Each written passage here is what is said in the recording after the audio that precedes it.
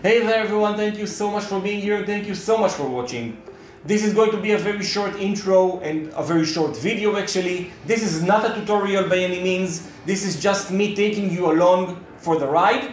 What I'm going to do in this video is I'm going to take the Synology DS923 Plus CPU for a test and more specifically for a virtualization test. I want to try to turn on as many virtual machines as I can and I want to see how the CPU handles the load. The reason I'm going to do this video is because unlike the DS920 Plus, the DS923 Plus has an AMD Ryzen CPU which is fast, it's beefy, it's snappy, it's great, but it only has two cores, four threads. So what you're going to see me doing this test, I'm going to turn on virtual machines one after the other. I'm not going to turn them all at once. My goal is not to hit the CPU as hard as I can. I'm going to turn virtual machines one after the other and when I reach my virtual machine's limit, I want to see how the CPU handles the load. Will it just crash and reach 99% utilization, or maybe it wouldn't even break a sweat? If you want to know the answer, follow me.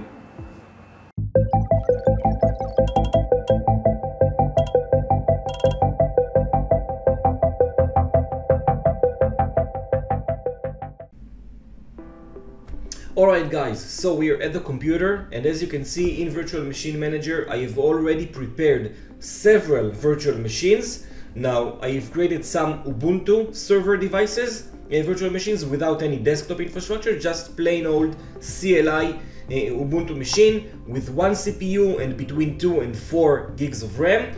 I am aiming for the highest density that I can. This is why I gave uh, all the virtual machines just one CPU. I've already prepared also uh, Windows Server Core virtual machines. Now these are a lot more uh, CPU intensive than the Ubuntu ones, so I am going to give them uh, two CPU cores to each machine. But again, I'm going to start with the Ubuntu ones because I want to aim for the highest density. I'm going to power them on one by one. I want to give each virtual machine some time uh, to load because the boot process is the most CPU intensive.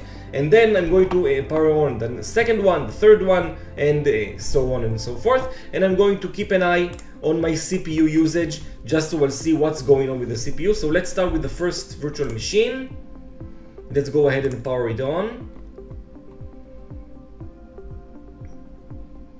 Now I am going to speed up this process and then I'm going to uh, power on the second one and the third one and the fourth one and let's see what's going on. Alright guys, I'm going to power on the second virtual machine.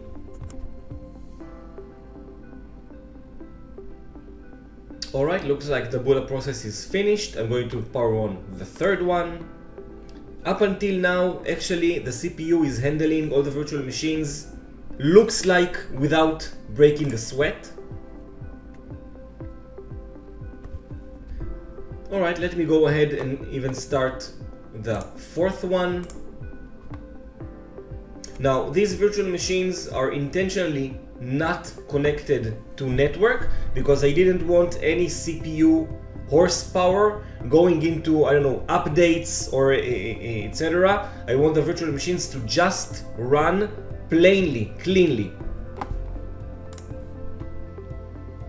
Alright, we are looking at around 16% CPU utilizations, uh, utilization, sorry, four virtual machines already powered on. Looks like the CPU is really not even breaking a sweat. Let's go ahead and power on another virtual machine.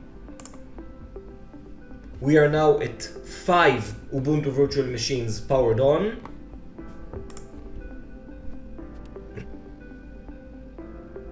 Alright, I'm going to even start on the sixth virtual machine. Alright, so all six Ubuntu virtual machines are now up and running and completed their boot up process. Six virtual machines running. We are looking at 8%, 10%, sometimes 12% CPU utilization. This CPU is not breaking a sweat for these virtual machines. Let's see if I can even power on another one, even though I, I think that I'm going to get an error message that, error message that there are not enough cores uh, to power on the virtual machine. Let's try.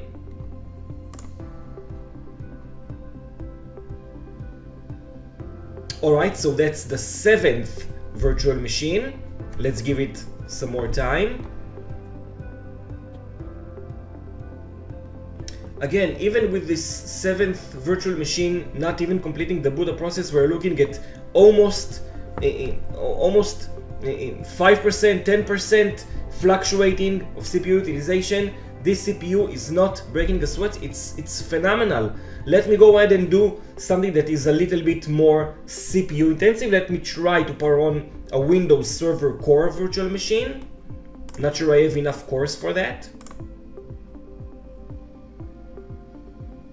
Alright, so we are now looking at 7 Ubuntu virtual machine and one Windows Server Core virtual machine. The server core is now in its boot up process. CPU is at 40%, but again, it's probably going to go down once the win Windows Server virtual machine will finish up its uh, up process. Let's see how we are doing with memory. Now I am, I have upgraded my memory to 32 gigs. Let's see what's our memory usage. We are looking at 66% utilization. We have plenty more RAM to be used. CPU still 40%. Let's see what's going on with the virtual machine. Okay, looks like it's finished its boot up process. Let's see if CPU utilization come, is uh, going to come down. Alright, so clearly the, the Windows Server Core is a lot more CPU intensive. We are looking at 30 eh, around 30% utilization, which is for running seven Ubuntu virtual machine uh, machines and one Windows Server Core is not so much. We are uh, growing in density. Let's try to power on another one, even though I'm pretty sure I'm going to get an error message. Yeah, it's not, uh, it doesn't have enough cores. You know what I'm going to do? I'm going to turn off two Ubuntu virtual machines and then try to power on another Windows Core, Windows Server Core virtual machine. So right now we are looking at one, two, three, four, five Windows uh, Ubuntu servers virtual machine, one Windows Server Core with single CPU core, and let's try to power on another one with two CPU cores and let's see how it handles that. Alright, so now currently the CPU is breaking a sweat. We have reached 80%, but again, remember that the two CPU cores dedicated to a, a Windows Server core is in its boot up process, which is the most CPU intensive process of the virtual machine. It, it's, it's probably going to come down eh, a little bit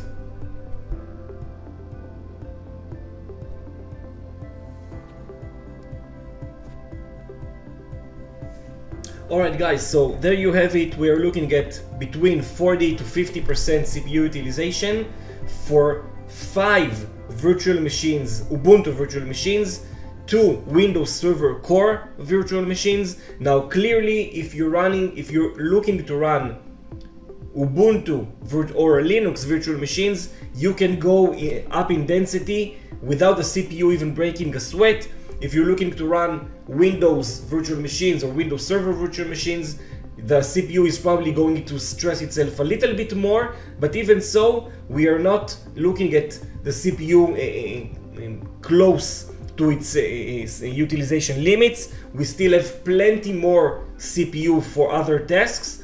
I hope this was interesting for you to watch. It was for me. I did want to do this test for several time for several months now.